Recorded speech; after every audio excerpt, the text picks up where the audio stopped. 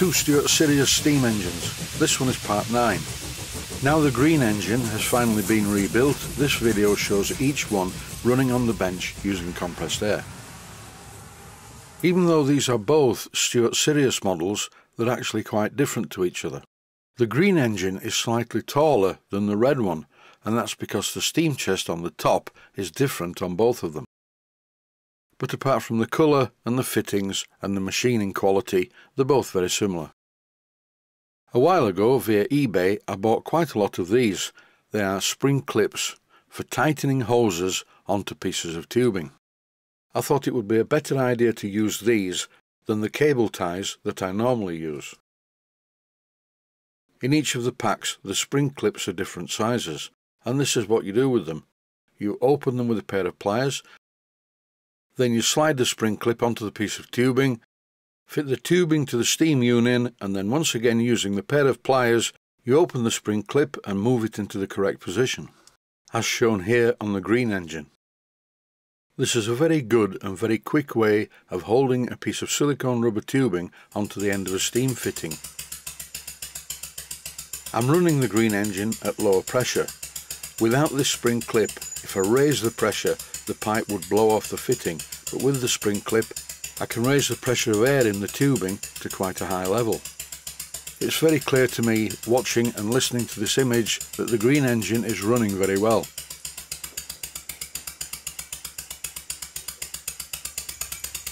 Time to turn up the pressure and see what it's like at a higher speed. I'll do this in stages and eventually it will reach its maximum speed.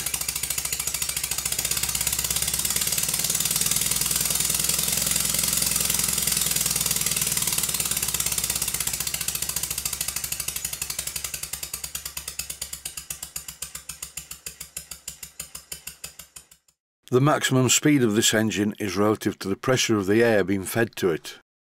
I'm switching the airline from the green engine to the red one. This engine runs very well indeed. It's from an Alco Firefly World War II generating set. And when I turn up the air pressure on this one,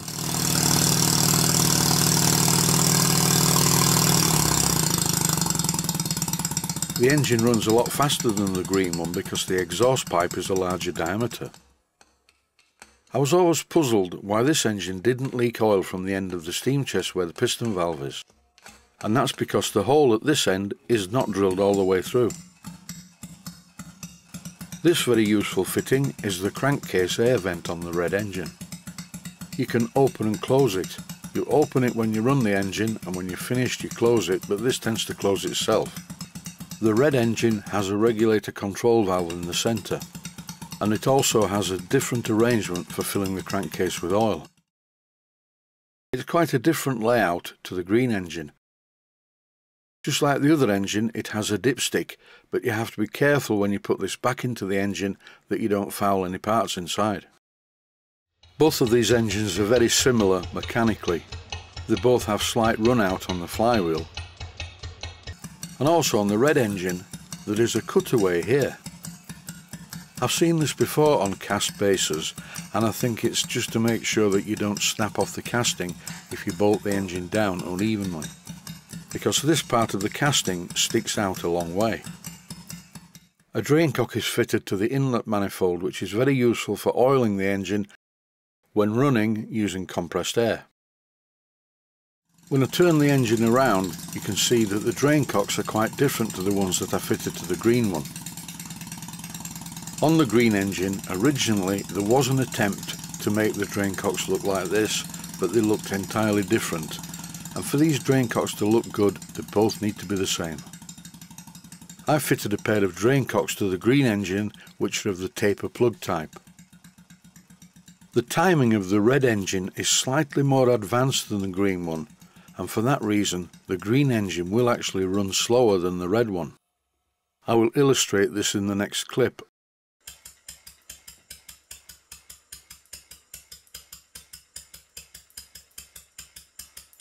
I'm very pleased with the way this engine's turned out. It's quite a long way from the condition it was in when I received it. I think I'm going to make a slightly larger diameter exhaust pipe to fit this engine though. Stuart Sirius steam engines are twin-cylinder single-acting machines. They are capable of running at very high pressures and a lot of them were used in model hydroplanes with a flash steam boiler system. When I was filming this video I did notice that both of the engines squeak a little bit. The squeaking noise is air escaping from the piston valve. But there's plenty of power and they both run well. In this clip you can see the oil vapour coming out of the exhaust pipe and later on when I run the green engine at a very high speed ice forms on the manifold and the pipe. The more I look at the green engine though the more I realise it does need a larger diameter exhaust pipe. Just before I go I'd just like to show you that both of the engines have end float on the crankshaft. This really is not a problem and I cannot be bothered going into obsess mode to fix it. This is the high speed run where ice actually forms on the manifold and the exhaust pipe.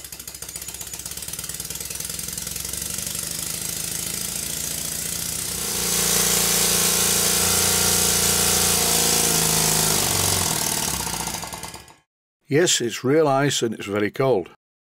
In possibly a futile attempt to stop the brass from tarnishing, I'm removing all of the condensation.